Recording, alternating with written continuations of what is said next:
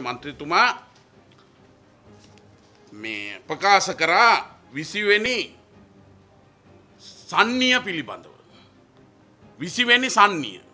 මේ විසිවෙනි සන්නිය පටන්ගන්න සූදානම් වෙන්න දැන් අනුර කුමාර දිසානායක කියන ගුරුන්නාන්සේ. මේ කියන්නේ විසිවෙනි සංශෝධනය ගැන විපක්ෂනායක සමඟ සාකච්ඡා කරනවා. විසිවන සංශෝධනය ගැන විපක්ෂනායකත් එක්ක දැන් සාකච්ඡා කරන්න ලෑස්තිී කියලා. මේ දහනමනි සන්නිහ නටල දැන් මේ රට නන්නත්තාර වෙලා තියෙන වෙලාවක විසිවෙනි සන්නිය නැටුවම් පස්සේ අනුර කුමාරලා කියන විදියට මේ අනුර කුමාර ගුරුන් වහන්සේලා කියන විදියට මේ රට අනාතයි නන්නත්තාරයි කුජ්ජීතයි. ඒවගෙන් තමයි මේ රටේ පැහැදිලිව මාද වෙනකොට දැවන්ත අර්බුද රාශයකට මූුණ දෙන්න මූුණ දෙන අවස්ථාවක තමයි අපි මේ අද මේ මාධ්‍ය සාකච්ඡා වුණත් තිය.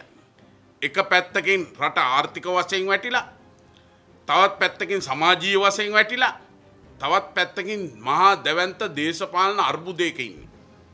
මේ අර්බුදයෙන් රටත් ජනතාවත් ගොඩනගන්න කවරුවර හිතාගෙන ඉන්නවන විසිවැනි සංශෝධනය කරලා මේ අර්බුද ටික විසඳන්න පුළුවන් කියලා පැහැදිලියෝම ඒවැනි සංශෝධනය විසිවෙන සංශෝධනයත් එක්ක එය ඉටු කරන්න බැහැ කියන එක අපි කියන. එක නිසා රටට වින කරන ඒවගේම ජනතාවට වින කරන ජාතියක් හැටියට ජාතීන්ට වින කරන මේ විසිවෙන සංශෝධනයට අපි කොහෙත්ම මේ වෙලාවේ එකග නෑ විදායක ජනාධිපති ක්‍රමය අවෝසි කරනවට යම් යම් මේ රටට වින කරන දේවල් යෝජනා ගොඩක් තියෙන නිසා අපි සම්පූර්ණම මේ විසිවෙන සංශෝධනය පිළිබඳව තවදුරටත් හිතල බලන්න ඕන කාලය ඇවිල්ලා.